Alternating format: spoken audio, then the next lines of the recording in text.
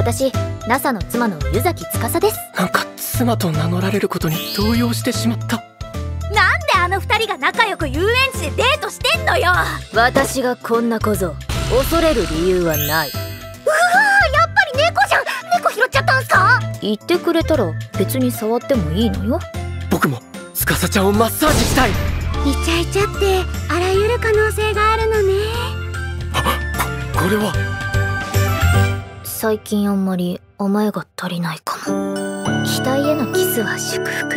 髪へは死亡僕は司ちゃんへの愛に何の迷いもないから。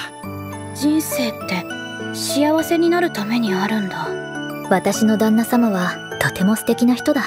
僕のお嫁さんはとても可愛い。それにとにかく可愛い